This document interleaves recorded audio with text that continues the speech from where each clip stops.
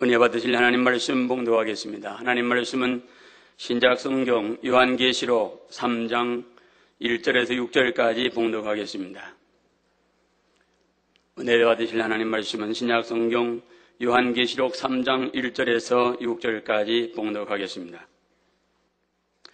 사대교회의 사자에게 편지하기를 하나님의 일곱 영과 일곱 별을 가진 이가 가라사대 내가 내 행위를 아노니 내가 살았다 하는 이름은 가졌으나 죽은 자로다.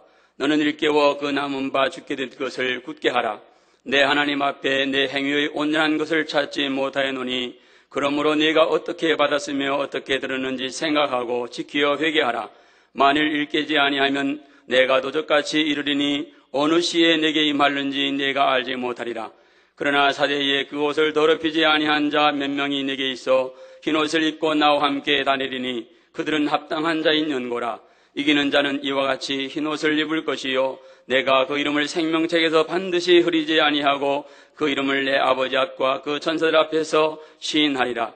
귀 있는 자는 성령이 교회들에게 하시는 말씀을 들을지어다. 아멘.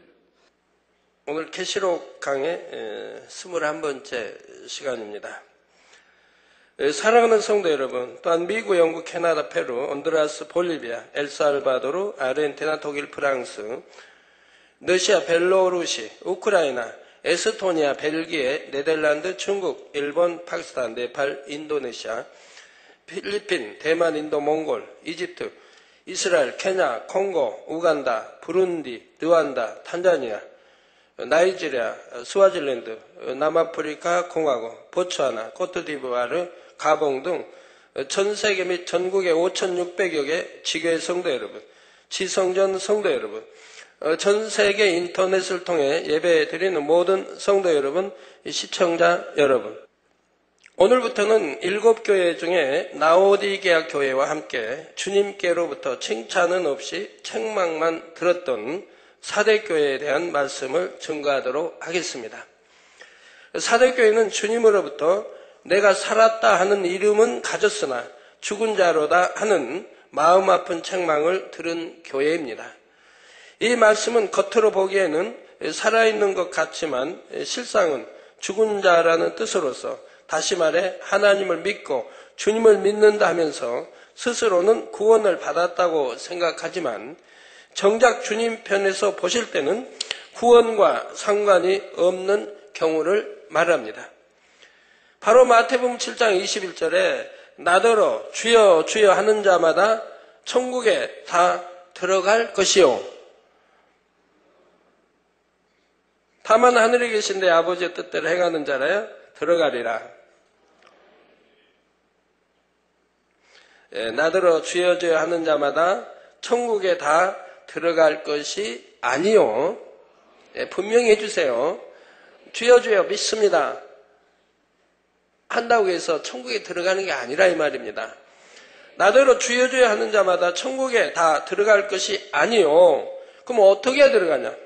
다만 하늘에 계신 내 아버지의 뜻대로 즉 만군의 와 하나님 아버지의 뜻대로 행하는 자라야 들어가리라 말씀하신 그대로인 것입니다. 만약 어떤 사람이 이 땅에서 나름대로는 하나님의 나라와 의를 위해 열심히 수고하고 헌신하며 살았다고 생각했는데 막상 마지막 심판날에 하나님 앞에 섰을 때 마태복음 7장 23절 말씀처럼 내가 너희를 도무지 알지 못하니 불법을 행하는 자들아 내게서 떠나가라 하는 말씀을 듣는다면 이보다 더한 비극이 어디 있겠습니까? 그러므로 여러분은 사대교에 주신 말씀을 통해 자신을 비추어 스스로의 신앙을 점검하여 하나님 앞에 아무 소용이 없는 죽은 믿음, 즉 살았다 하는 이름뿐인 지식적인 믿음이 아닌 영적인 믿음, 산 믿음, 참 믿음을 소유해 나가시기를 주님의 이름으로 축원합니다. 여러분 영적인 믿음은 성경에도 보면 믿는 자에게는 이런 표적이 따르리니 라는 말씀이 나오잖아요. 영적인 믿음을 가지면 그런 표적이 따른다고 하는 것입니다. 그래서 여러분들은 그런 믿음을 가졌기 때문에 여러분 믿음대로 치료도 받고 또 기도해서 아픈 사람 치료도 해주고 하지 않습니까? 그래서 어, 이브리 10장에도 보면 참마음과 온전한 믿음이 나오죠. 믿는다 해서 다 믿음이 아니라 이 말입니다. 온전한 믿음.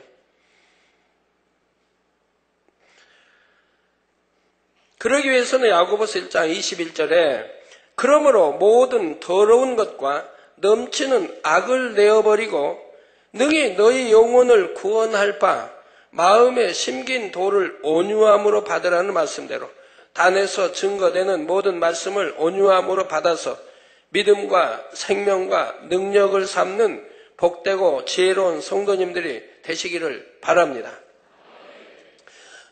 제 목소리가 좀 답답하죠? 예, 이게 한 앞으로 3주 정도, 이번 주 지났으니까 이제 2주 정도 더 지속될지도 모르겠습니다. 물론 뭐 여러분 음, 제가 어, 내일 어, 1월 저녁에는 또 산기도를 갑니다. 어, 4차 산기도를 가니까 어, 다음 주 내일 주일 말 아닌 다음 주 금요일과 일요일은 또 뵙지 못하겠네요. 음, 그런데 이제 말씀을 이미 주어졌기 때문에 영의 그 3단계 훈련 과정에 이제 마음을 조절하는 이라는 것이 또 들어있기 때문에 온 현상입니다. 그래서 마음을 조절하고 다스리고 어, 이라는 것이 한 3주 동안 진행이 된다고 말씀을 해 주셨습니다. 그래서 좀 답답하더라도 어, 이해해 주시기를 예, 바랍니다. 사랑하는 성도 여러분, 본문 1절에 보면 우리 주님에 대해 표현하기를 하나님의 일곱 영과 일곱 별을 가진 이라 했는데 여기에 나오는 일곱 영은 우리가 신앙생활을 함에 있어서 매우 중요한 내용입니다. 특히 지금 7주간의 특별 철야가 진행되고 있는데 여러분이 치료받고 축복받고 응답받기 위해서는 이 일곱 영에 대해 밝히 알아서 응답의 조건들을 갖춰 나가야 하지요. 어, 나는 7주 동안 열심히 기도했는데, 어, 왜 응답을, 응답이 안 오지? 그런 분은 없애야 할 거라 이 말입니다. 어, 여러분 다 같이 응답을 받고, 어, 그리고 하나님께 또 영광을 돌리는 이런 간증의 입술들이 되어야 하지 않겠습니까? 그래서 오늘과 다음 시간에 걸쳐서는 이 일곱 영에 대해 증거하도록 하겠습니다. 예전에도 이 일곱 명에 대해서는 몇 차례 증거한 적이 있지만 이번에 다시 한번 증거할 때 여러분의 신앙을 잘 점검해서 기도하고 강구하는 것마다 응답받아 나가는 여러분이 되시기를 주님의 이름으로 축원합니다. 성도 여러분, 하나님은 사랑이십니다. 그리고 바로 구원받은 저와 여러분의 아버지가 되시지요. 부모가 사랑하는 자녀에게는 자녀가 원하는 것은 무엇이나 해주고 싶어 하는 것처럼 사랑의 아버지 하나님께서는 께서도 사랑하는 자녀가 원하는 것은 무엇이나 응답해 주기를 원하십니다. 더구나 하나님은 전지 전능하시지요. 자녀들이 원하는 것, 모든 것을 들어주실 능력이 있으시다는 사실입니다. 육의 부모는 능력이 없으면 자녀가 원해도 사랑스러운 자녀가 원해도 응답해 주지 못하는 것도 있지만 우리 하나님은 전지 전능하시기 때문에 자녀들이 원하는 것을 다 주실 수 있다 이 말입니다. 어떤 중한 질병이나 연약함을 치료받기 원해도 가난하여 물질에 축복받기를 원해도 하나님께서는 다 들어 주실 수가 있습니다. 세상의 부와 명예와 권세와 지식 등 그 무엇으로도 해결할 수 없는 문제들을 하나님의 능력으로는 다 해결해 주실 수가 있지요. 그렇다면 이러한 하나님 앞에 나와서 하나님 믿습니다. 사랑합니다. 그러니 제 기도에 응답해 주세요. 저의 문제를 해결해 주세요. 이렇게 기도만 하면 되는 것일까요? 하나님께서 아무리 사랑이 많으시고 자녀들에게 응답해 주기 원하신다고 해도 모든 사람의 기도에 무조건 다 응답해 주시는 것은 아닙니다. 하나님은 사랑의 하나님이신 동시에 공의의 하나님이시기 때문에 기도하는 자녀에게 응답하시는 것도 반드시 공의에 맞게 행하시지요.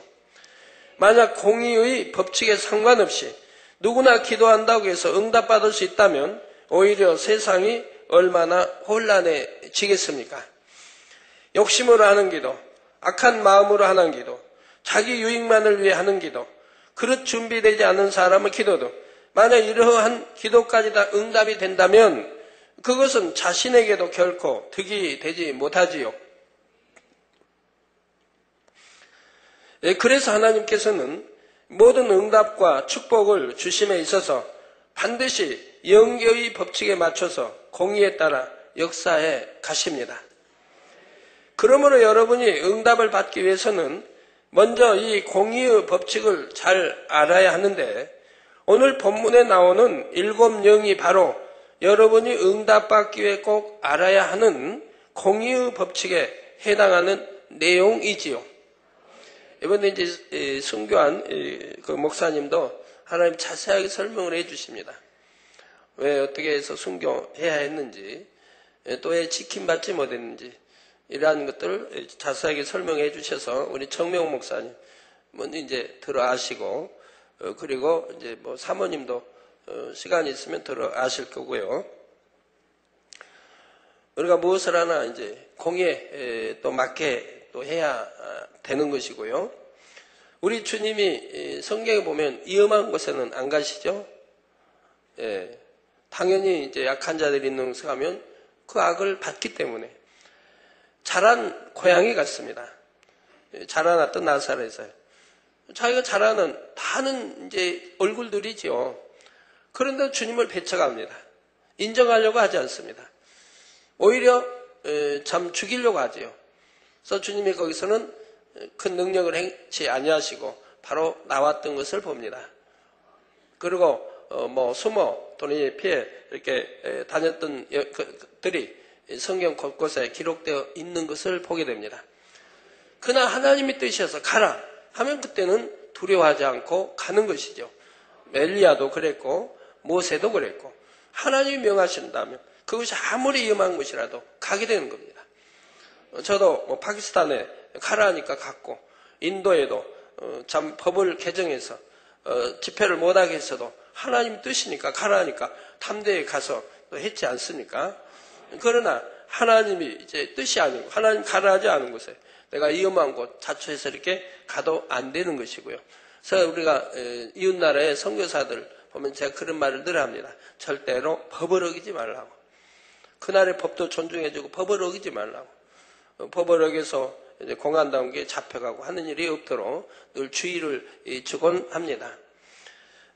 그런데 이제 아프리카나 이런 데는 참 혼란한 질서가 이렇게 돼 있지 않고 여러 가지 이제 정치도 어지럽고 이렇게 질서가 없는 나라들이 참 많아요. 그래서 반군들이 있고 늘 싸우고 이렇게 하는 나라들이 안정이 돼 있지 않은 나라들이 많습니다. 거기다 또 치안이 전혀 또 돼 있지 않은 나라들이 있고요. 또 어느 곳에는 치안이 전혀 돼 있지 않은 미국도 마찬가지. 미국 뉴욕이라 해도 치안이 전혀 부재인 곳도 있습니다. 저도 전에 그 치안이 부조가 부, 재인 그곳에 간 적이 있었는데 주위에서 말리더라고요. 못 가게. 대낮인데도 거기 가면 돌멩이도 던지고 칼로 위협도 하고 어, 그리고 뭐 차를 세워놓으면 차를 유리창 부셔버리고 어, 그, 그 안에 그 꺼내 가기도 하고 어, 여러 가지 현상이 일어난다고 못 가게 하는 그런 뉴욕에도 그런 마을이 있어요. 여러분들이 뭐 대부분 다 아실 거고요. 어, 뭐 뭐라 그러죠? 살 에?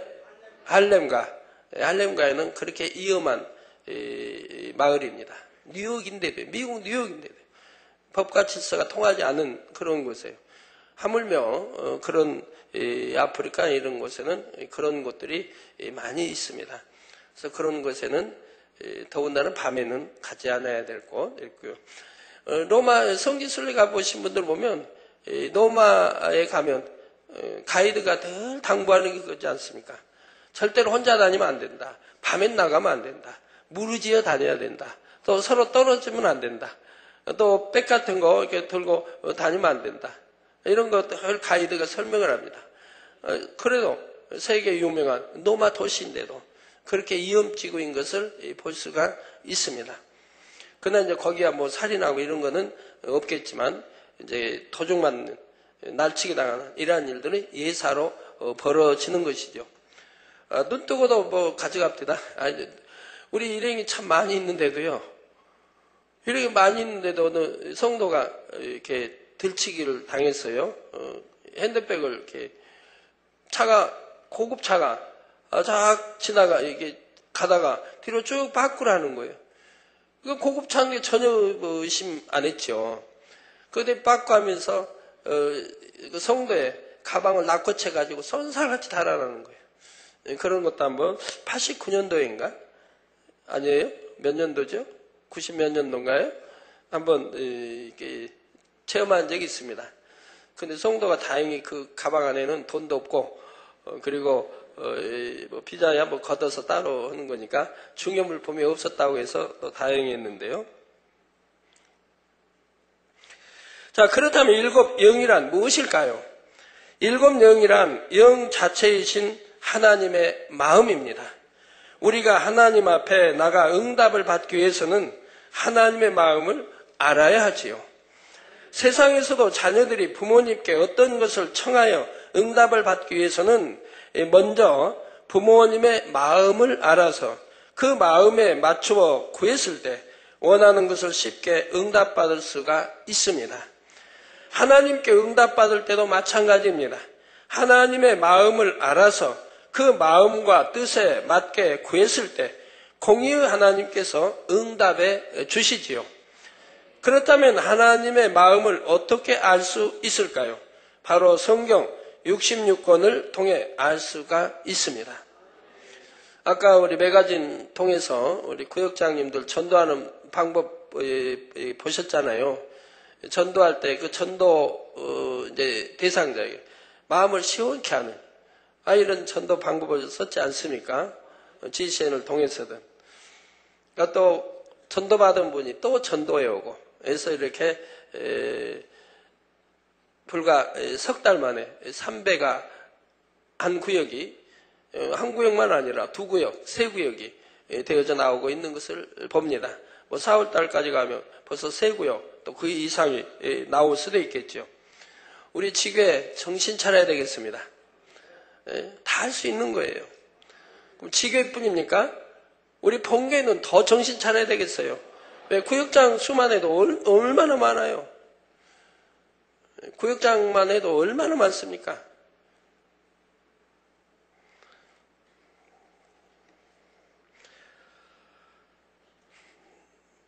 네, 하나님의 마음을 어떻게 알 수 있을까요? 바로 성경 66권을 통해 알 수가 있습니다. 성경 안에는 하나님의 마음이 담겨 있고 어떻게 하면 하나님을 기쁘시게 할 수 있는지 어떻게 하면 응답받을 수 있는지 그 방법이 상세하게 기록되어 있지요. 그리고 이러한 하나님의 마음과 응답의 기준에 대해 제시해 주는 것이 바로 일곱 영이라는 사실입니다. 일곱 영에서 일곱이라는 숫자는 하나님의 영이 일곱이라는 뜻이 아니지요. 일곱은 영적으로 완전하다는 의미입니다. 요한복음 4장 24절에 보면 하나님은 영이시니 말씀한 대로 하나님은 영 자체이십니다. 따라서 이처럼 영 자체이신 하나님의 마음을 일곱 영이라 한 것은 완전하신 하나님의 영을 나타내는 것이지요. 계시록 5장 6절에 보면 내가 또 보니 보좌와 내 생물과 장로들 사이에 어린 양이 섰는데 일찍 죽임을 당한 것 같더라.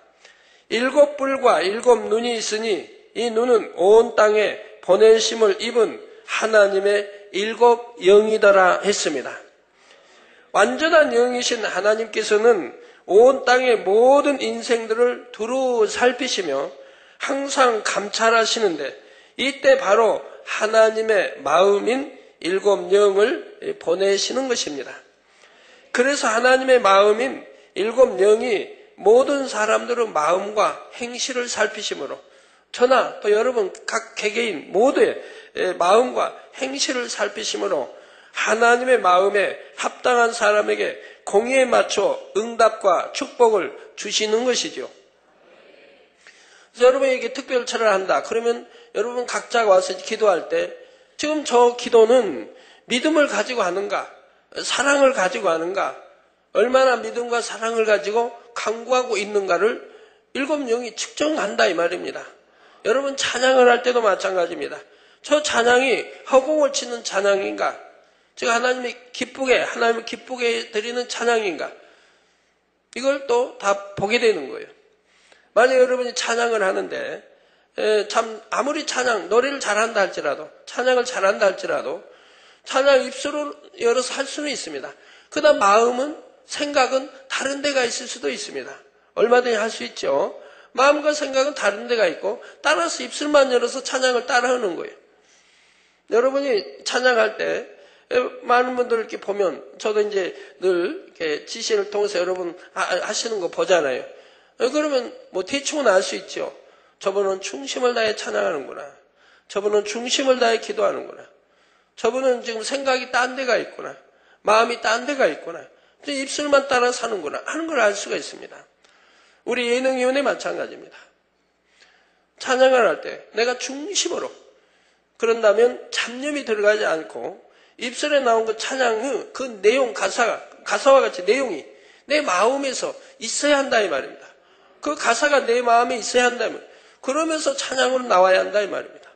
그러니까 눈물이 나올, 나와야 할 때는 눈물이 나오는 것이고 기쁨이 나와야 할 때는 기쁨이 나오는 것이고 행복할 때는 얼굴이 행복해지는 것이고요. 마음으로 찬양을 한다 이 말입니다. 이 마음으로 찬양하는 것이 입술을 통해 나와야 한다 이 말입니다. 근데 마음은 딴 데가 있어요. 마음은 뭐 콩밭에 가 있어요. 마음은 저기 생각은 또딴 데가 있어요. 그 입술만 열어서 얼마든지 할 수 있다 이 말입니다. 할 수 있죠. 제가 찬양 잘하면 한번 시범을 보여드리면 좋겠는데 찬양을 못하니까 죄송하네요.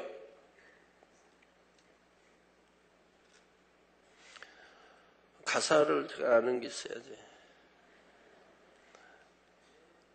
죄송합니다.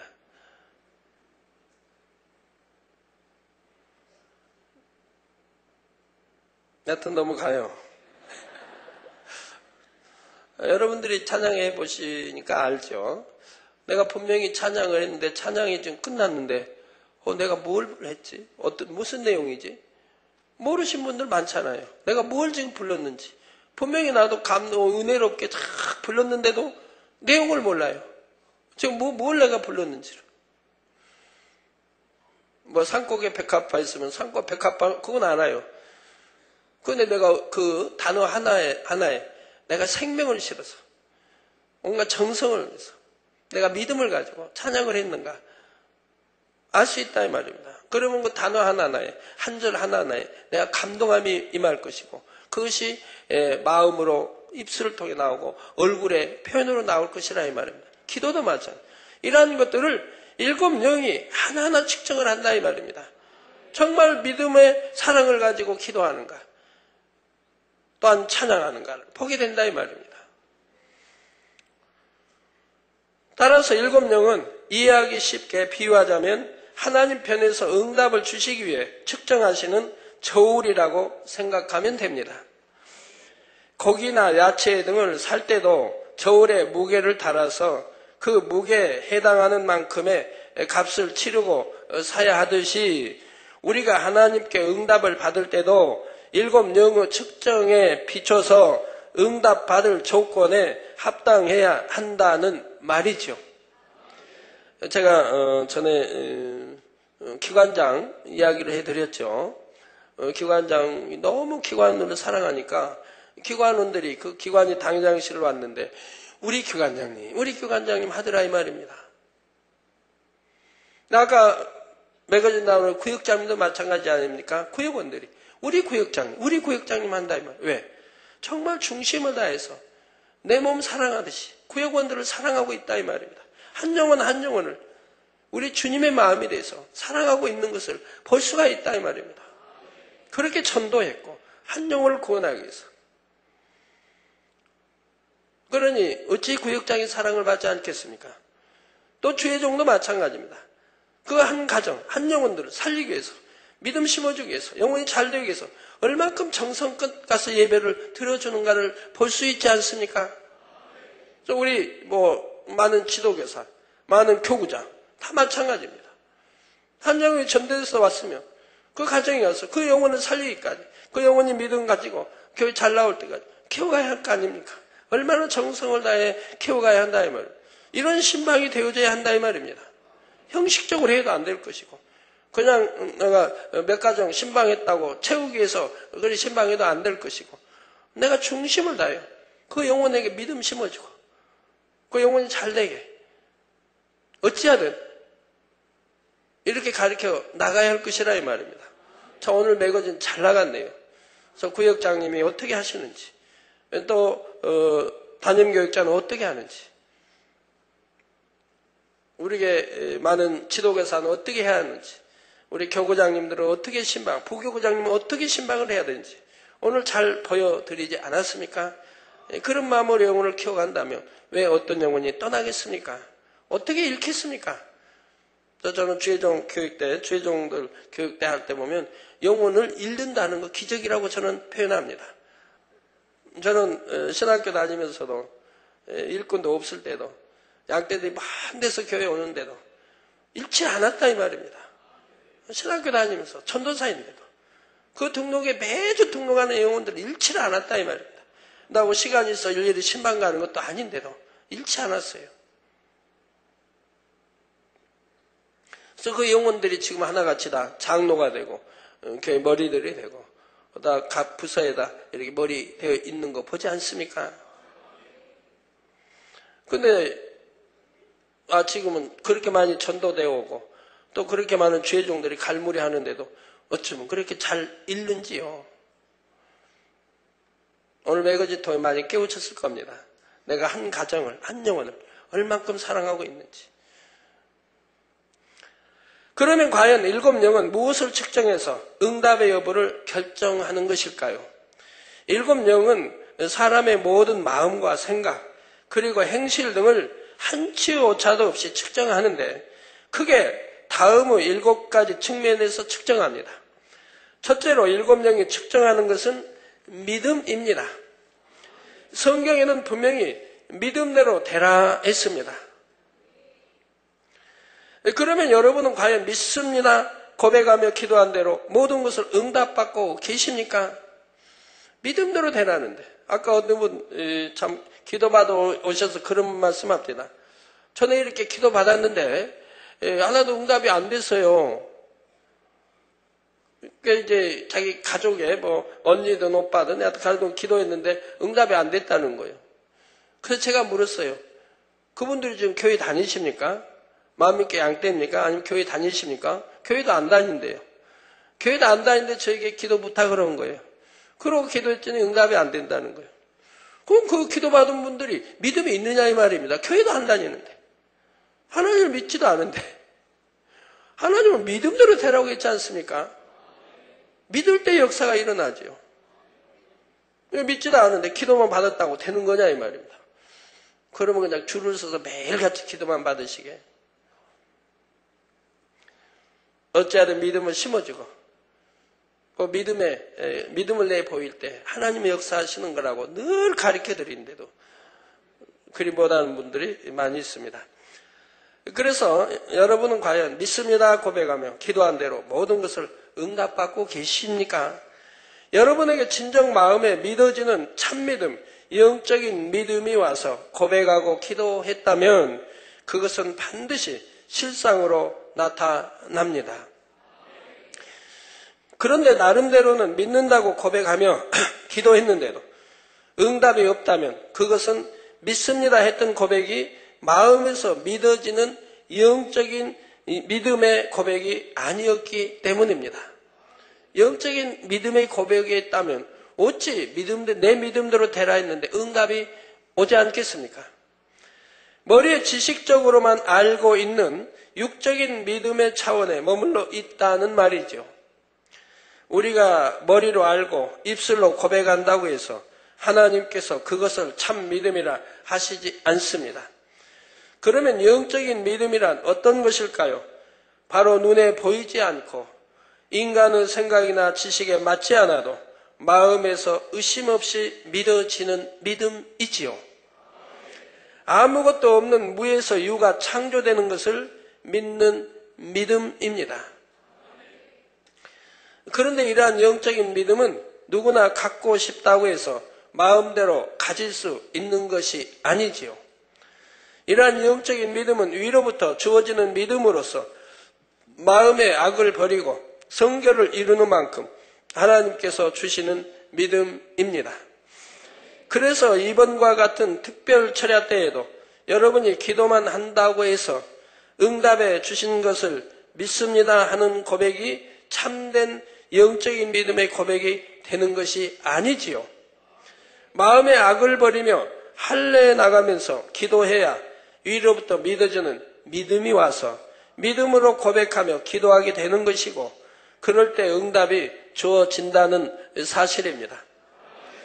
여러분이 평소에는 늘 이 재단에서 일어나는 기사와 표적과 권능을 보시기 때문에 참 믿음이 되어지고 나도 딴 내게 문제가 닥친다 믿음으로 해결해야겠다 하는 그런 생각들을 하십니다.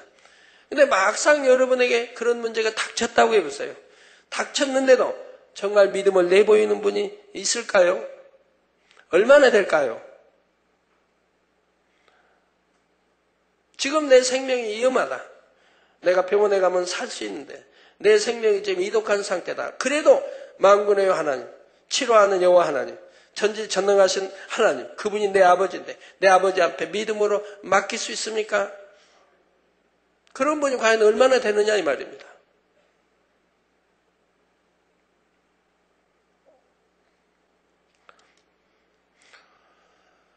저는 일요일 날 어, 이번 주 일요일 날 잠보 병원 신방을 갔었는데 참으로 오랜만에 병원 신방을 갔습니다. 여러분이 들으시고 아 병원 신방 다시는구나 하고 부탁한다고 해서 되는 거 아니에요. 제가 그런 시간도 없지만 지금은 손수건이 있기 때문에 예, 단물 있고 손수건이 있기 때문에 여러분들이 교구장님이든 대구장님이든 지역장이든 서수원 기도해주면 대부분 다 치료받고 나오시게 됩니다. 뭐 제가 그럴 시간도 없고요. 아이고 집에 사태에 가시다가 해주시죠. 또는 올 때 해주시죠. 못합니다. 저는 자유가 없어요. 사택 출발해서부터 교회까지 오는데 몇 시간 걸린 줄 아십니까? 차로는 15분 거리인데 몇 시간 걸려야 옵니까? 한 두세 시간 걸려야 옵니다. 예를 들어 뭐 일요일도 어 6시 6시부터 성도들 만나죠. 사택에서. 계속 기도해 주죠. 그러니까 교회에 오면 이제 그 6시부터 만나서 교회에 오면 8시 반이 되죠. 이게 2시간 반. 또한 성도가 계속 금요일은 마찬가지예요. 금요일도 어, 저는 이제 계속 저녁을 빨리 먹어야 됩니다. 뭐 아침도 안 먹죠. 점심은 먹는 둥 마는 둥. 그러니까 그런데 저녁을 이제 2시 40분에 먹습니다. 계속 빨라가는 거예요. 그렇게 빨라가도 시간에 쫓기니까요. 저녁을 2시 40분에 먹고 그리고 바로 지하로 내려가서 우리 성도들 만나고 오죠. 참 오늘 감사한지 하나님이 목이 이러니까요. 그, 좀 걱정이 되잖아요. 그 많은 성도를 언제 다 기도해 주나. 또 몇 시간씩. 근데 하나님이 참 기적같이 오늘 또 막아주시는지요. 아, 막아주시더라고요. 다른 데 같으면 뭐, 어? 뭐몇 시까지 해야 되나? 음, 4시, 그니까, 4시, 어? 5시인가요? 2시 반. 어, 4시. 4시부터 와서 기도를 하는데, 그래가지고 계속 하고, 이제 교회에 오면, 어, 뭐, 여하튼, 어, 그리고 이제 교회를 오는데, 그 몇 시간을 기도했는데 오늘은 먹이는 걸 아버지 하시니까 어떻게 그 많은 성도들을 다 막으셨는지. 그래가지고 불과 뭐, 한 뭐, 1, 어, 200명밖에 안 돼가지고 빨리 기도를 하고 올 수가 있었지요. 그래서 야, 참 하나님 너무나 감사하다. 어떻게 그 많은 성도 일일이 다 기도해주고 또 어, 이런 충만한 목으로 했는데 어떻게 오늘 처음 있는 일이에요. 막아주신 거야, 하나님이. 그래서 이런 때도 있구나 했는데, 예, 그렇게 오는 길 가는 길, 교회까지 오는 길 가는 길이 난 자유가 없는 거예요. 수백, 수천의 성도들을 악수하고 기도해주고 오고 가야 되니까 어디를 다 뭐 다녀 갈 때도 못 하는 거예요. 그런데 우리 이제 교회에서 어, 정말 에, 우리 오남성계 뭐 회장님이시고 오랫동안 또 어, 회장님 하셨고 어, 그만큼 또 그 가정 권사님이고 아, 이런 가정이기 때문에 아, 그런데 에, 병원에서 의식을 잃고 깨어나질 않는다는 거죠. 의식을 깨어나지 말도 못하고 의식도 깨어나질 않는다. 어, 교구장님도 대교구장님도 갔겠는데 깨어나질 못한다고. 그래서 어, 참 기도 부탁을 한 건 아닌데 권사님도 어, 사진 기도만 받고 권사님도 너무 안타까워져. 그래서 제가 아, 그, 그래도 교회에서 충성하시고 그만큼 하셨는데 어, 내가 가야 되겠구나 해가지고 제가 어, 일요일 날 저녁에 모든 일정 마치고 늦게 여기서 한뭐 10시, 근 10시경가 되고 늦게 이제 에, 들렸습니다. 가, 는 길에 이제 그 시간에는 다 단일체라 성도들 할 시간이니까 또 악수할 거, 성도 기도할 거 다 해주고 에, 그리고 이제 출발 갔어요. 어, 병원에 가서 이제 중환자실이니까 어뭐 또뭐 이렇게 목사님 왔다는데 들어가기는 하죠. 그래서 이렇게 한, 들어가서 보니까 뭐 의식도 없고요. 뭐뭐 그냥 눈도 감은 채 뜨지도 못하고요. 뭐 말도 못하고 그냥 그런 상태로 있더라고요. 그래서 이제 기도를 해드렸어요. 어, 기도를 해주고 어, 그리고 저 왔지요 사택에 다음 날 에, 들으니까 깨어났다고 그래하세요. 그리고 말도 하고 그런데 이제 그 권사님 부인 되는 권사님 말씀 들으니까 또 다른 분 말씀 들으니까 병원에서도 40% 머리의 40%가 세포가 죽어버렸다 이 말이에요. 그 머리 전체 염증으로 깔렸고 세포가 죽어서 살릴 길이 없다. 그래서 장례 준비하세요. 병원에서 그랬대 장례 준비하라. 그런 적인데 가서 이렇게 기도해주고 어, 왔더니 바로 다음날 밤늦게 기도해주고 왔는데 다음날 깨어나서 어, 이제 말도 하시고 알아도 들으시고 그 며칠 있다 다음 주에는 그 며칠 있다는 이제 다음 주에 뭐 며칠 오늘 토요일이니까 이런 예, 보통실로 옮긴다고 그래요.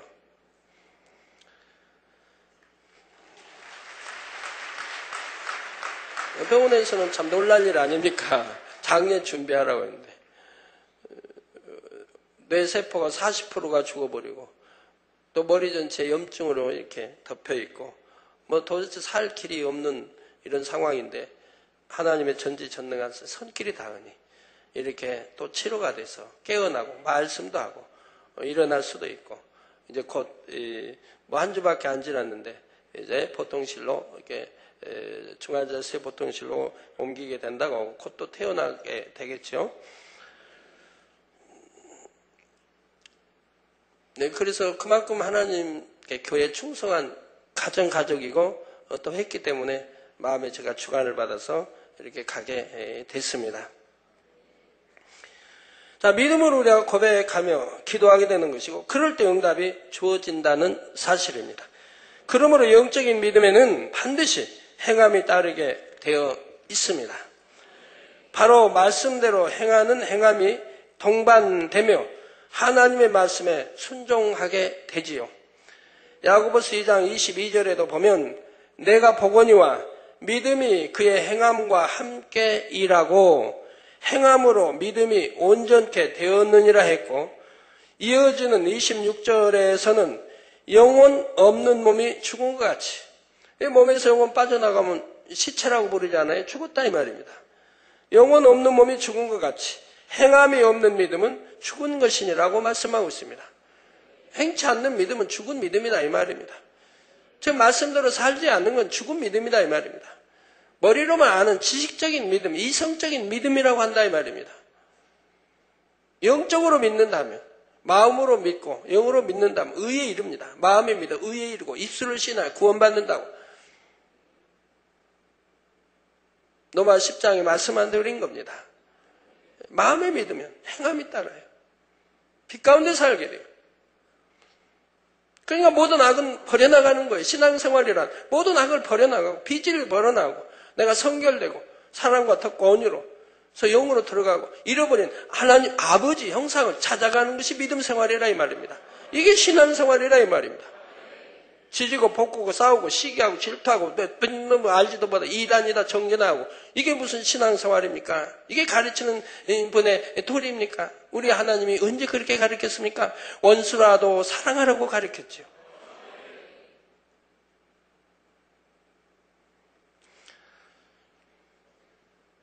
그래서 어, 내가 보거니와 믿음이 그의 행함과 함께 일한다.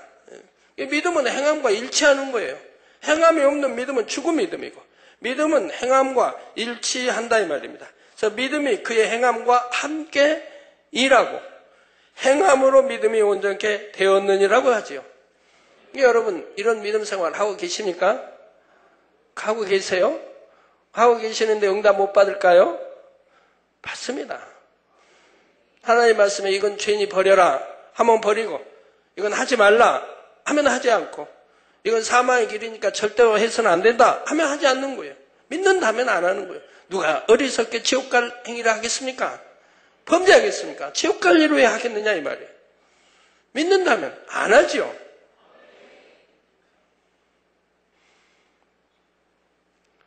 육체를 행해도 성경은 분명히 구약 신약이다.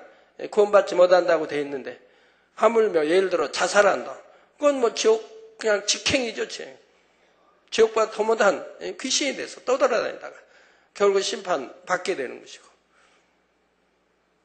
어떤 사람은 믿는다고 실컷 일하고 하나님 일해놓고 뭐 자살한다고. 이뭐 믿음이 믿는 거예요? 아니라 이 말입니다. 그래서 믿음은 행함과 함께 일한다. 내가 믿으니 먹으나 입으나 마시나 하나님께 영광 돌리게 사는 것이고요. 영광을 위해 살라고 했습니다. 그 빛 가운데 살 거고요. 죄는 짓지 않으려고 할 거고요. 그래서 전에도 어, 뭐 부흥성에 떠는 어, 제가 비유대로 이렇게 설명할 때 물을 사용하죠. 이거는 여튼 이름은 모르는데 뭐라 그런지 단물로 하죠, 단물. 단물을 마시면 갈증이 해소되고 목이 좀 부드러워진다. 뭐 사실이 아니에요. 여러분이 아시도 사실이죠. 믿지 않습니까? 그거 믿으니까 어떻게 하겠어요? 내 갈증이 나고 목이 마르다. 갈증이 난다. 그럼 어떻게 할까요? 이 믿으니까 마실 거 아닙니까? 그래서 마신다 이 말이에요. 자, 이게 믿으니까 행함이 따른다 이 말. 마시게 되더라 이 말. 갈증을 해소하기 위해서. 그리고 이렇게 갈증을 해소하기 위해서 마셨더니 믿음대로 됐어요, 안 됐어요? 이거 마시면 갈증이 해소되고 목이 부드러워진다. 믿고 마셨는데 그 믿음대로 됐어요, 안 됐어요? 됐지 않습니까? 이렇게 믿음은 그의 행함과 함께 일하고 또 행함으로 그 믿는 믿음이 온전히 되었다 이 말입니다. 이게 정말로 하나님 믿는다면 범죄하지 않는다 이 말입니다. 죄짓지 않는다 이 말입니다. 더군다나 지옥 갈 육체 일은 행치 않는다 이 말입니다. 정령이 믿지 않기 때문에 그러죠. 믿지 못할 일이 뭐 있습니까 우리 성경? 성경에 기록된 것을 이 재단은 다 베풀고 있는데 믿지 못할 일이 뭐가 있겠습니까?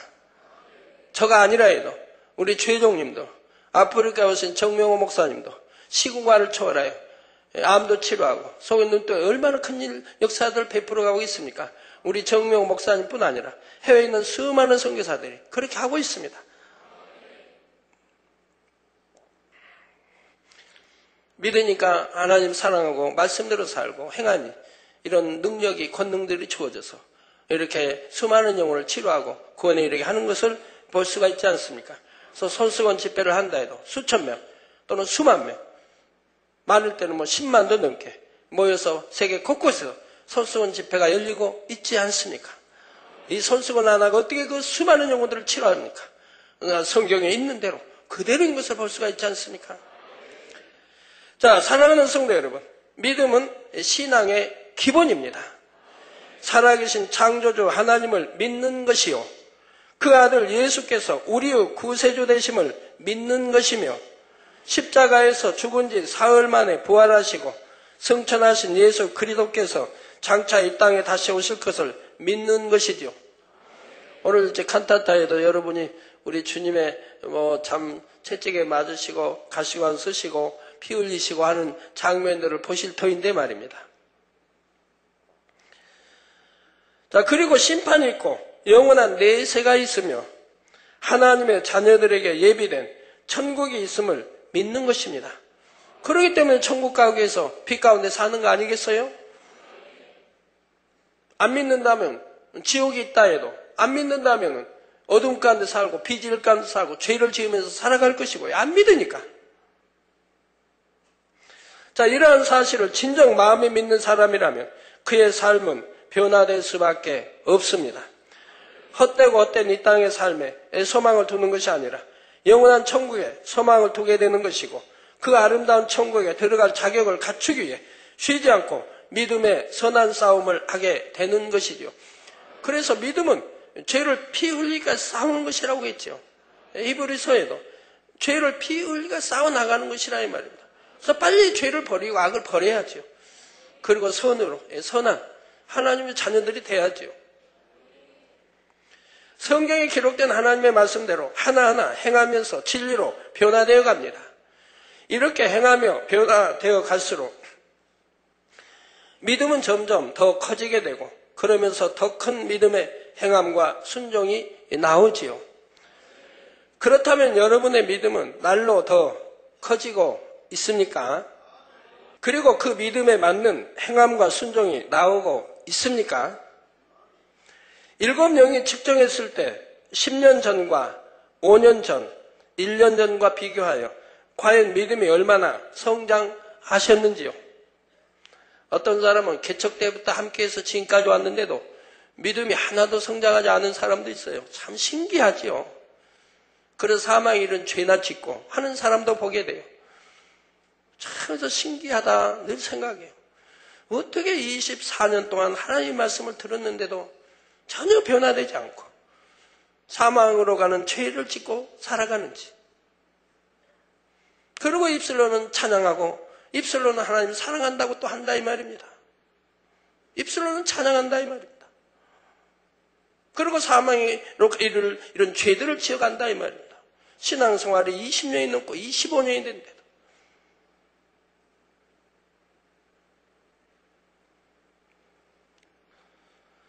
자, 믿음의 척도를 할 수 있는 행함 역시 예전과 비교했을 때 과연 얼마나 더 온전함을 이루셨습니까?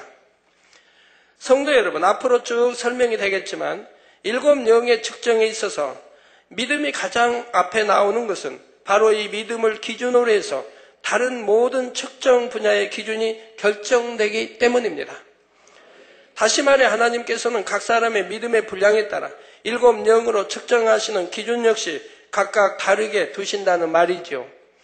예를 들어 어린아이만큼의 분량의 믿음을 가진 사람과 장성한 분량의 믿음을 가진 사람에 대해 똑같은 응답의 기준을 적용한다면 어린아이의 믿음을 가진 사람은 응답받기가 너무 어려울 것이고 장성한 믿음을 가진 사람은 너무 쉬울 수가 있지요. 그렇게 되면 어린아이의 믿음을 가진 사람은 아예 응답받기를 포기해버릴 것이고 반면에 장성한 믿음을 가진 사람은 더 깊은 영의 단계로 들어가기 위해 더 이상 노력하려고 하지 않을 것입니다. 그래서 공의 하나님께서는 각 사람의 믿음의 분량에 맞추어서 일곱 영이 측정하는 응답의 기준을 각각 다르게 정해 놓으셨다는 사실입니다. 그러니 하나님께서는 일곱 영을 통해 믿음을 측정하게 하심으로 나머지 여섯 가지 분야에 대해서도 그 믿음의 분량에 맞는 기준을 적용하시지요. 그런데 똑같은 믿음의 분량이라도 더 큰 문제를 응답받기 위해서는 당연히 더 큰 믿음을 내 보여야 합니다. 내 믿음의 분량은 이만큼이니까 이 정도면 되겠지 하며 만족할 것이 아니라 자신의 믿음의 분량을 뛰어넘는 믿음의 행함이 필요하지요. 그럴 때 큰 문제를 응답받을 수도 있는 것이며 이 기회를 통해 믿음도 한 단계 더 성장하는 계기를 삼을 수가 있는 것입니다. 이번 특별 철야가 바로 이러한 축복의 시간이 되시기를 주님의 이름으로 축원합니다. 둘째로 일곱 영은 기도를 측정합니다.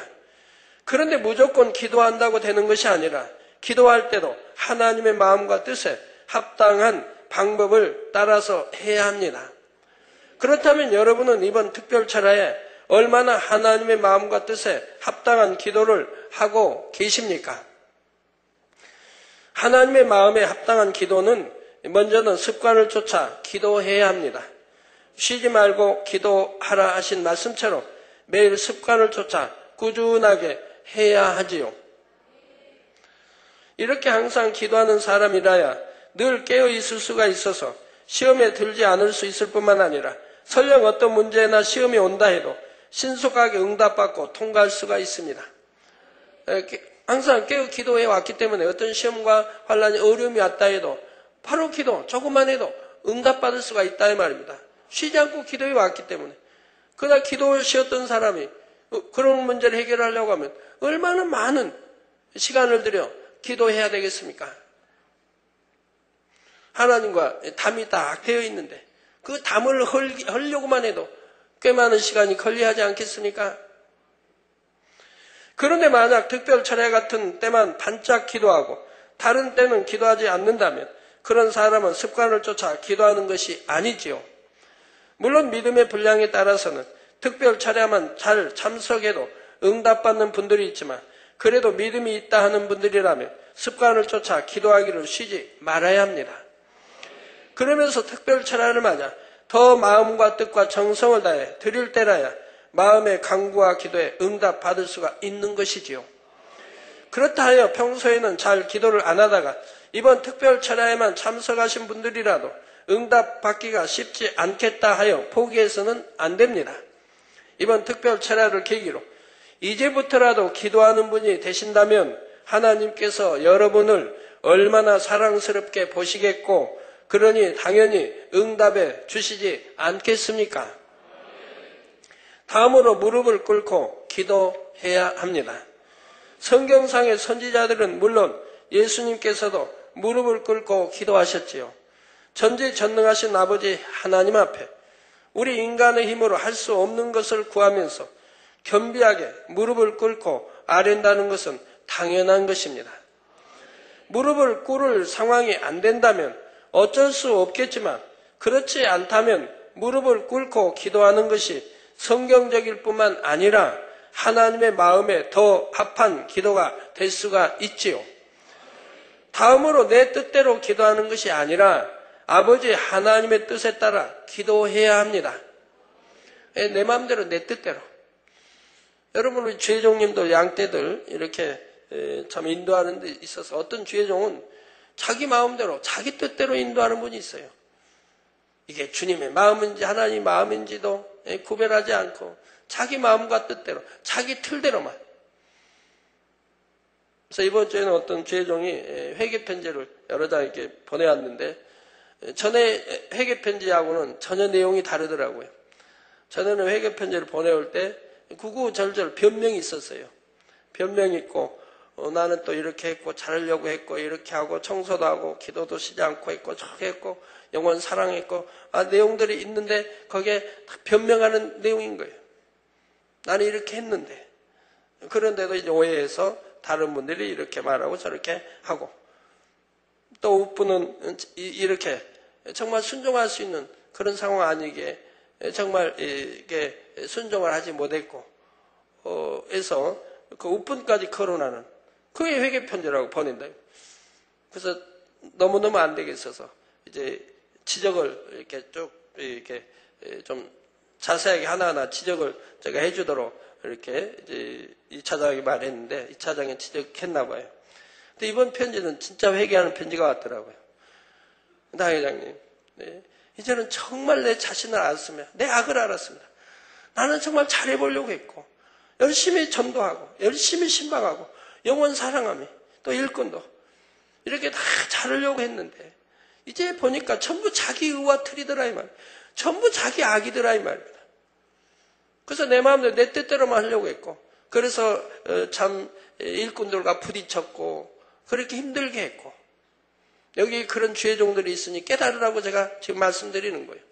자기만 옳다고 생각해요. 나는 분명히 진리로 가르치고 잘한다고 생각하니까 옳다고 생각하지만 나로 인해 상대가 얼마나 힘들어할까는 왜 생각해 보지 못합니까? 꾹꾹 눌러 참고 있다는 것은 왜 생각해 보지 못합니까? 내가 감으로 상대가 평안해야 일꾼이 평안해야 되고 모두가 평안해야 되고 은혜가 되고 사랑이 넘쳐야 되고 어, 이래 하는 거 아니에요. 우리 주님이 함께 하신다면 얼마나 행복하겠어요. 주님을 따르는 제자나 모두가 얼마나 행복했겠어요.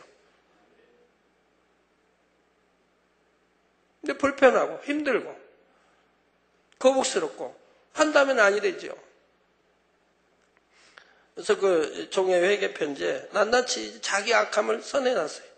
전에는 그런 게 악인 줄 몰랐다 이 말이에요. 근데 이제 보니까 전부 자기의 틀이고 자기의 생각이더라 이 말입니다. 자기가 옳다고 하는 하나님 나라를 위해서 영혼을 위해서 옳다고 생각해서 해왔던 그런 모든 방법들이 너무너무 악했고 잘못됐다고 하는 것을 낱낱이 이제 기록해 놨어요. 그래서 이제는 정말 낮아지고 낮아지고 낮아져서 그냥 섬기고 아무하고도 화평 깨뜨리지 않냐고 오직 섬기는 그런 종으로 나오겠습니다. 예, 우리가 에, 기도하는 것도 내 뜻대로 기도하는 것이 아니라 아버지 하나님의 뜻에 따라 기도해야 됩니다. 양떼를 치료함에 있어서도 내 뜻대로 내 생각대로 내 틀대로 하는 것이 아니라 주님의 마음이 되셔야 된다 이 말이에요. 주님의 마음은 사랑과 온유와 덕과 이러한 것이 다 갖춰져 있다 이 말입니다. 이런 마음으로 양떼들을 치료해야 된다 이 말. 푸른 초장으로 찬잔한 시내가로 인도를 해 가야 된다 이 말입니다. 양떼를 힘들게 해도 안 되고 일꾼을 힘들게 해서도 아니 되고 그렇게 잘해가는 주의 정도로는 양떼를 통해서 무수히 제 귀에 들어오는 거예요. 우리 전도사님은 우리 목사님은 우리 교구장님은 너무너무 이렇게 양떼들을 편하게 해주고 잘 인도하고 이런 소식이 1년이면 꽤 많이 들어오죠. 어떤 종은 교구장, 대교구장을 할지라도 한마디도 제가 듣지 못하는 그런 종도 있어요. 깨우쳐야 합니다. 깨우쳐야 됩니다. 우리가 행하는 것도 기도하는 것도 오직 주님의 마음이 돼서 하나님의 뜻에 합당하게 기도해야 되는 것입니다. 예수님께서 누가복음 22장 42절 후반절에 내 원대로 마옵시고 아버지의 원대로 되기를 원하나이다 기도하셨듯이 기도는 자기의 뜻이나 유익을 위해 하는 것이 아니라 하나님의 뜻을 쫓아 해야 하지요. 야고보서 4장 2절 후반절에 3절에도 너희가 얻지 못하면 구하지 아니하며 구하여도 받지 못하면 정욕으로 쓰려고 잘못 구함이니라 하셨습니다. 여러분 구하는 것은 반드시 주신다 하나님 했잖아요. 구하라 주실 것이요 찾으라 찾고 두드려라 열릴 것이냐. 근데 구해도 응답받지 못하는 것은 구하지 아니하며 구했는데도 응답 못 받는다는 것은 정욕으로 쓰려고 잘못 구했기 때문에 하나님 응답해 주지 않는다고 말씀하고 계시다 이 말입니다. 여러분은 이게 특별 철학을 통해서 내가 기도하는 것이 정욕, 내 정욕을 위해서, 내 유익을 위해서, 나를 위해서 기도하지 않는가 잘 살펴봐야 할 것입니다. 욕심 가운데 하나님의 뜻에 맞지 않게 하는 기도는 응답받을 수 없음을 알아야 합니다. 다음으로 힘쓰고 애써서 부르짖어 기도해야 합니다. 예수님께서는 얼마나 힘쓰고 해서 기도하셨던지 땀이 땅에 떨어지는 핏방울 같이 되셨다 했죠. 가끔 간증 편지 오는 거 보면 그런 성도 있습니다. 땅이, 땀이 핏방울이, 여하튼 힘쓰고 있어서 땀이 나게 기도하려고 애를 쓰는데 아직 그런 땀이 나오지 않아서 더, 더 간절히 중심을 다해 기도하겠습니다. 이런 편지들 오는 걸 보게 됩니다. 여러분, 기도할 때요.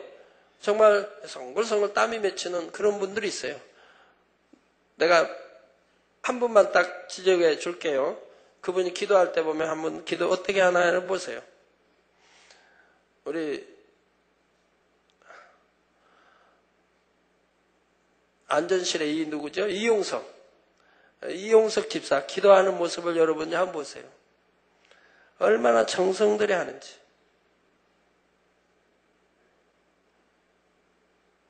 얼마나 정성을 다해 기도하는지. 제가 이렇게 지시행 동안 사고 보면서도 감동을 받아요. 기도는 저렇게 해야 되는데. 제가 전에 산호, 산에 갈 때도, 거창에 갈 때도, 이용숙 사는 이 추운 때도요. 방에 안 들어요. 방이나 아니면 텐트나, 아, 방에, 방에 집 지었을 때도 어, 방에 안 들어요. 기도를 어디서 하냐? 차 타고 내려는 그 올라가서 쭉 어, 거창 가보신 분 알겠는데 에, 저희가 거창에서 한참 내려와서 계곡으로 이제 폭포수 있는데 이제 거기 못 가서 집을 지어놨는데 거기 집 내려오기 전에 한참 올라가서 기도를 하는 거예요. 그래서 한 번 물었어요. 왜 이렇게 좋은데 두고 폭포도 있고 아래도 이렇게 좋은데 두고 그렇게 올라가서 기도를 그렇게 하느냐고. 저렁저렁하게 부르짖어 기도를 그렇게 잘하죠. 추울 때도 상관없고요. 추운 겨울에도 그렇게 기도해요. 왜 하겠어요? 그래서 왜 이렇게 기도하느냐고 하니까 혹이라도 누가 세상 사람이 혹이라도 누가 이 산을 내려올까봐 우리 있는 대로 올까봐 그 목을 지키고 있는 거예요. 지키면서 기도를 하는 거예요.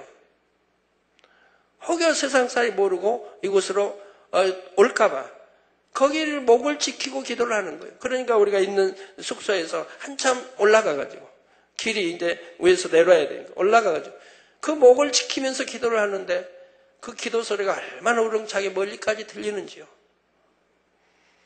기도를 하면서도 자기 사명을 감당하면서 기도를 하는 거예요. 이런 중심 참 어디 찾아보겠습니까? 추운 데도 말이에요. 추운 데 추울 때는 텐트나 아니면 방에 가서 할 수도 있겠는데 근데 그 마음이 5년이 돼도 10년이 지나도 15년이 돼도 변하지 않습니다. 변하지 않아요. 그런 중심이에요. 네, 그 기도하는 게 여러분 이제 혹여 다음에 여러분 근처에 기도하시면 얼굴 보세요 한번 땀방울이 나나 안 나나 얼마나 정성스럽게 간절히 기도하는지 얼굴에 땀방울이 맺힙니다. 근데 악을 써서 막 부르짖는 거 아닌데도요. 그렇게 기도하시는 분이 예, 털어 보여요. 화면을 들어서면 털어더러 어, 군데군데 보입니다. 간절하게 정성을 다해 하시는 분들. 자, 바로 이러한 기도를 통해 창세기 3장 17절 후반절에 너는 종신토록 수고하여야 그 소산을 먹으리라는 말씀처럼 수고와 땀의 소산으로 응답을 얻는 것입니다. 다음으로 마음 중심의 기도를 해야 합니다. 하나님께서는 사람을 외모로 취하지 않으시고 중심을 보시기 때문입니다. 기도 역시 거룩한 겉모습이 중요한 것이 아니라 얼마나 간절한 중심으로 기도하느냐가 중요하지요. 아무리 애쓰고 힘써 기도하는 것 같아 보여도 만약 중심의 기도를 올리지 않는다면 소용이 없습니다. 그러나 정말 중심을 다해 간절하게 기도하게 되면 저절로 입술이 열리고 소리내요. 기도하게 되며 감동함 가운데 부르짖어 기도하게 되지요. 그래서 중심의 기도를 하게 되면 자연히 애쓰고 힘써 기도하게 되는 것입니다. 다음으로 믿음과 사랑을 가지고 기도해야 합니다. 야고보서 1자 6절에서 7절에 오직 믿음으로 구하고 조금 더 의심하지 말라. 의심하는 자는 마치 바람에 밀려 요동하는 바닷물결 같으니 이런 사람은 무엇이든지 죽게 얻기를 생각하지 말라. 여러분 기도 받으러 올 때에 믿음 가지고 옵니까? 많은 분들이 저에게 뭐 한 주에도 엄청 많은 분들이 기도 받지만 정말 믿음 가지고 기도 받는 분들은 그렇게 많지 않아요. 참 안타깝지요. 기도는 해드리지만 안타까워요. 믿음 가지고 나오는 게 아니에요.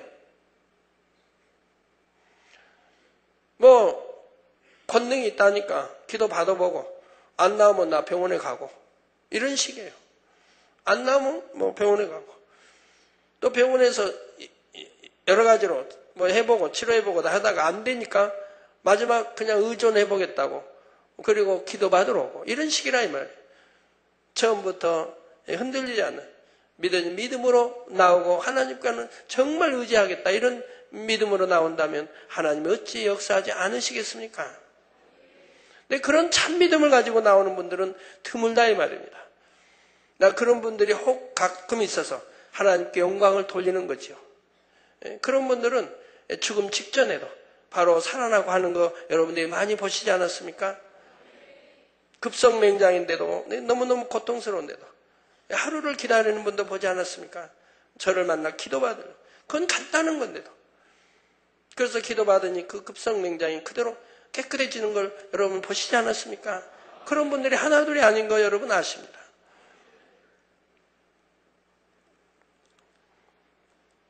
처음부터 의심하지 않고 믿는 믿음으로 나올 때 우리 하나님 어찌 역사하지 않겠습니까?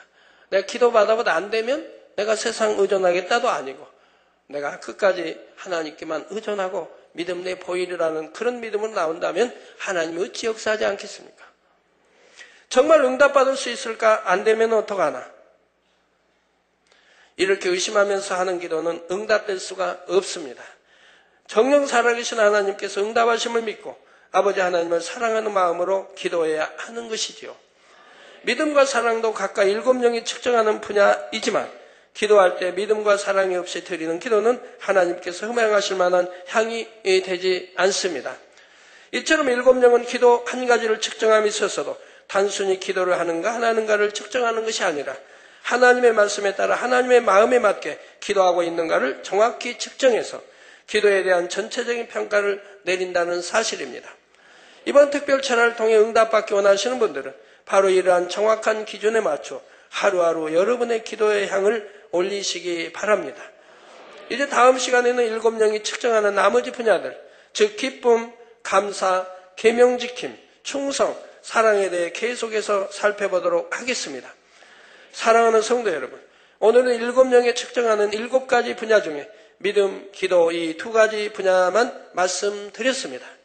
나머지 분야에 대해서는 빨리 들어야 이번 특별철야 때 응답받을 수 있지 않은가 생각하실 분이 계실 수도 있는데 여러분이 오늘 두 가지 분야에 대해 들으신 대로 믿음을 가지고 하나님의 마음과 뜻에 맞춰 열심히 행하시면 나머지 분야에 대한 기준도 넉넉히 통과할 수가 있다는 사실입니다.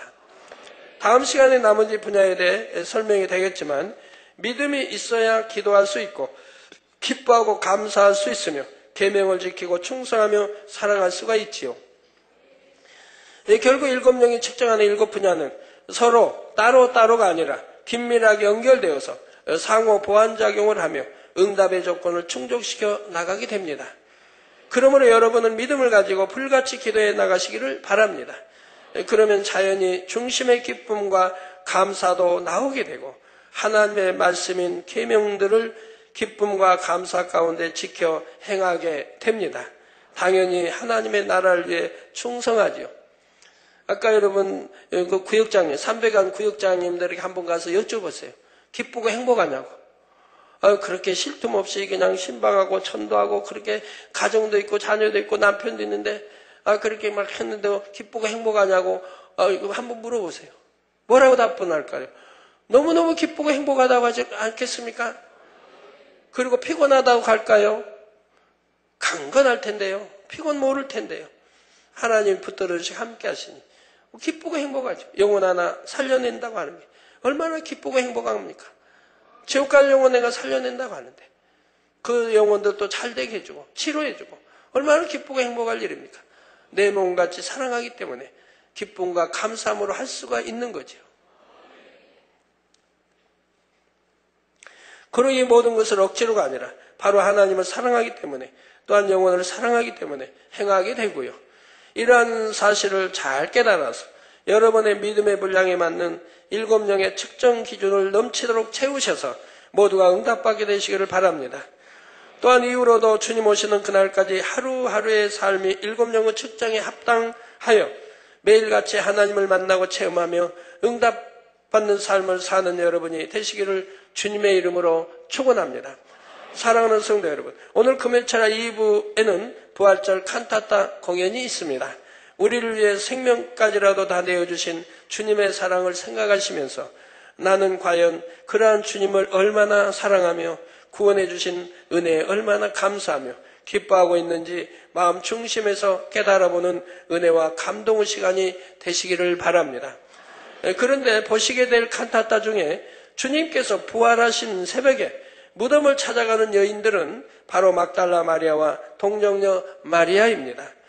하지만 성경에 보면 막달라 마리아의 이름은 분명히 기록이 되어 있는데 다른 한 여인이 동정녀 마리아라는 것은 명확히 기록이 되어 있지를 않습니다.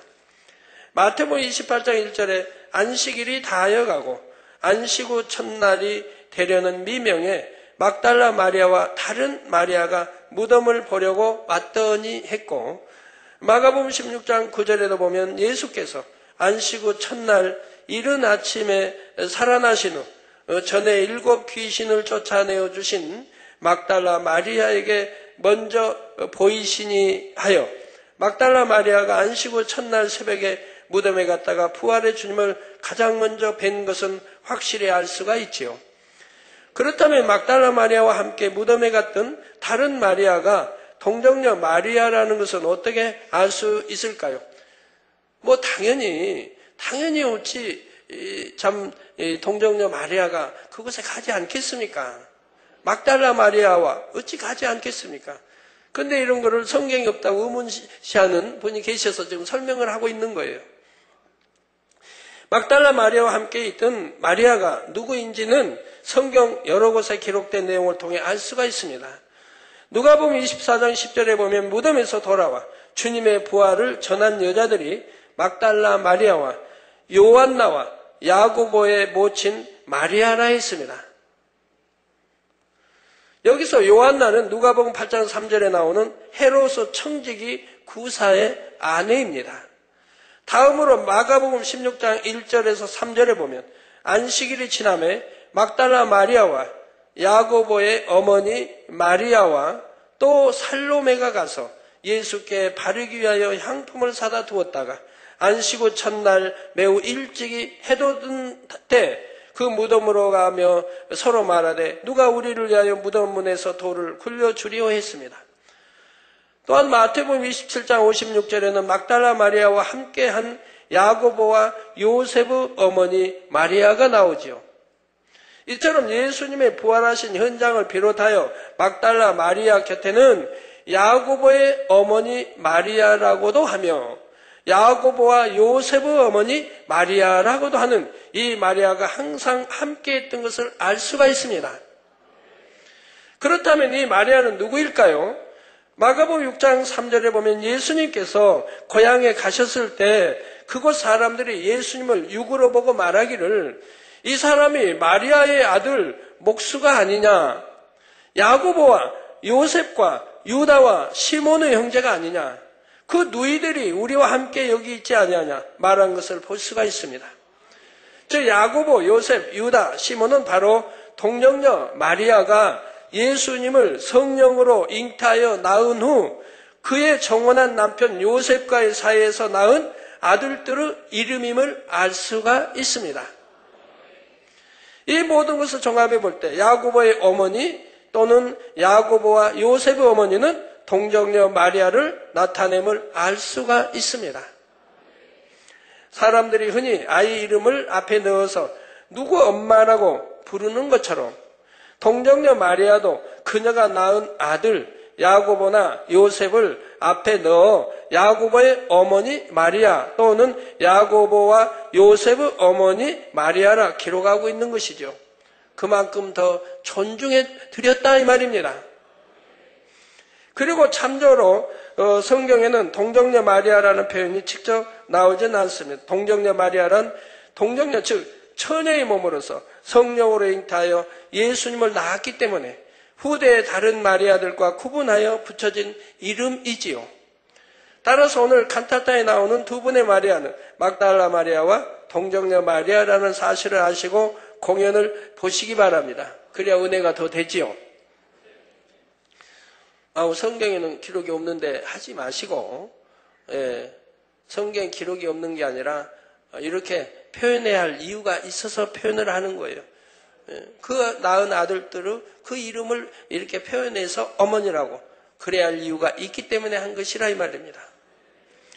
여인들 중에 천국에서 가장 높은 서열을 차지하시는 두 분이 과연 어떠한 마음으로 예수님의 십자가 지시는 현장에 있었고 주님의 부활을 목도했는지를 마음으로 느끼시며 큰 은혜와 감동의 시간이 되시기를 주님의 이름으로 축원합니다. 예, 말씀 상고하시면서 통성으로 다 같이 기도하시겠습니다. 할렐루야 주님 은혜와 사랑에 감사를 드립니다. 아버지 오늘도 들은 말씀이 믿음이 되고 생명이 되게 축복해 주옵소서. 아버지요, 역사해 주시기 원합니다. 아버지 정령이, 아버지 일곱 명이 합당, 일곱 명이 비춰볼 때 합당한 그런 믿음과 행함과 기도로 올려치게 해 주시고, 특별 철학을 통해서 간구하는 것들이 다 응답받아지게 축복해 주시기를 원합니다. 주여 감사합니다. 우리 주 예수 그리스도 이름으로 기도합니다. 아멘. 오늘 2부 순서가 있어서 일찍 끝내야 되는데 환자 기도 요청이 워낙 많이 왔네요. 예, 환자에 기도하겠습니다. 아픈 곳에 손 얹어 주시고 연약한 곳에 손 얹어 주시고 마음의 소원들 놓고 기도 받으시겠습니다. 할렐루야 주님의 시간에 친히 안수해 주옵소서. 능력, 능력, 능력 불어넣으시 원합니다. 시공간을 초월하여 역사해 주시 원합니다. 화상을 통해 예배드리는 전국교회와 지교회와 지성교회, 인터넷을 통해 예배드리는 전 세계 하나님의 자녀들이, 또 GCN 시청자들이, 아버지 세계 곳곳에서 아버지 또 이름으로 아버지 사진을 보내 기도 받기를 요청해 왔습니다. 친히 사진에 안수해 주시고, 이름 위에 안수해 주시며, 응답해 주시기를 원합니다. 아버지, 류 홍매회, 에, 간병, 이 목이 마르고 타는 듯한 머리 통증, 생리불순 이 시간에 친히 안수해 주시고 성령의 불로 태워 깨끗게 해 주옵소서. 간병 또 목이 마르고 타는 듯한 머리 통증, 생리불순 다 물러가라 깨끗함 입어라. 꼬융페이 가정 복마 이루어 주시고 영육간에 강건하게 축복해 주시고 임신의 축복도 주시고 일터가 형통하게 이루어지게 축복해 주시기 원합니다.